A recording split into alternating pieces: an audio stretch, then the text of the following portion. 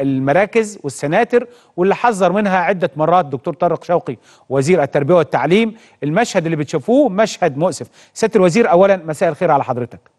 مساء النور. أهلا بيك يا أحمد بيه. أهلا وسهلا. بدأت السناتر أو الدروس الخصوصية في أماكن حتى لا تليق وأماكن بشعة وأعداد كبيرة جدا. سيادة الوزير بترجع هذا الأمر لإيه؟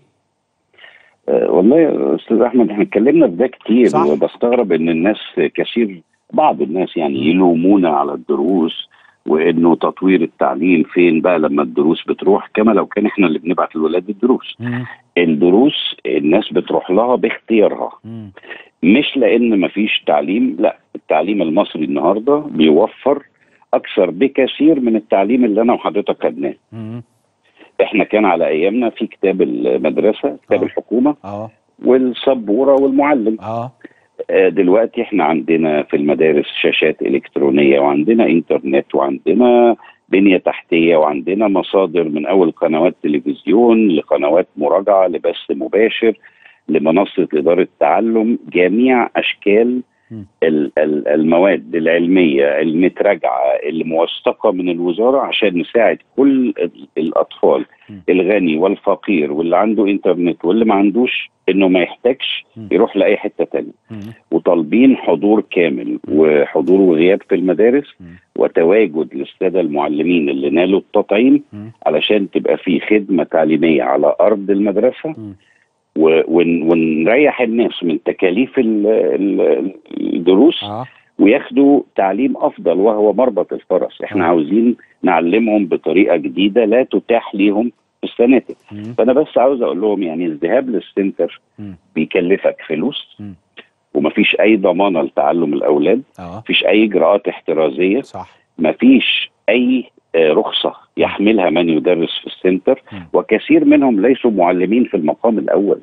وليسوا م- عندهم مؤهلات تربوية آه وبالتالي ممكن اللي بيدرس ده يكون آه، آه، آه، راجل في معمل كيمياء قرر يدرس كيمياء راجل آه،. آه، آه، معاه خريج مش تجارة مؤهل مش واحد مؤهل يعني لا خالص. ملوش أي علاقة بنظام التقييم في المرحلة الثانوية اللي إحنا هنسأل فيه الولاد آه والسنة اللي فاتت قد تكون عبرة ودرس قيم جدا آه الناس اللي استمعت إلينا وما راحتش دروس مم.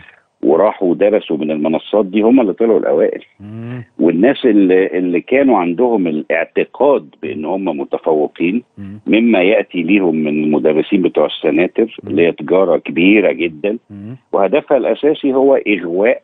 أولياء الأمور وإقناعهم إن مصلحة الولاد إن الولاد تروح لهم نعم فالحقيقة أنا بك- بكرر آه، يا جماعة ده إهدار للمال مم. والجهد وصحة الولاد وتعليمهم. ومش هيتعلموا. لا مش هيتعلموا. هو ده الأساس. آه. ومش هياخدوا الدرجات زي زمان كمان. آه. بكام الحصة سيادة الوزير في السناتر ديت؟ بكام؟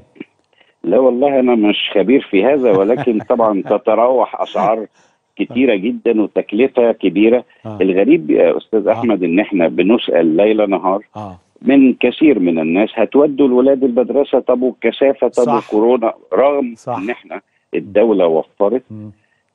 3 مليون جرعة للسادة المعلمين. مجانا وبنصرف مئات الملايين للإجراءات الاحترازية. في المدارس. وبنوفر كل ده برضه مجانا. ومع ذلك آه، آه، مش خايفين إنهم يروحوا السناتر في وجود كورونا بس خايفين يروحوا المدرسة آه اللي هي الدولة مهتمة بيها وحاطة عينها عليها مم. اللي هنقدم فيها التغذية المدرسية الجديدة اللي السيد الرئيس اتكلم عليها آه فيعني ده يؤكد إن المسألة بقى فيها آه، يعني آه، أبعاد اجتماعية أخرى. محتاجة دراسة. دراسة من ناس متخصصة لماذا نفعل ذلك وليه الأسرة المصرية اللي بتودي ولادها المدارس يعني كما لو كان ادت واجبها تجاه ولادها أنا بقول لهم يا جماعة أنتوا أذيتوا الولاد ما آه. اديتوش واجبكم نعم كده آه، ال ال يعني بيحصلوا على درجات. آه، خادعة. وما بيتعلموش وبيعانوا بعد كده في بقية حياتهم فيا ريت يعني آه، نستفيد مما قدمته الدولة ونوفر الفلوس دي سيادة الوزير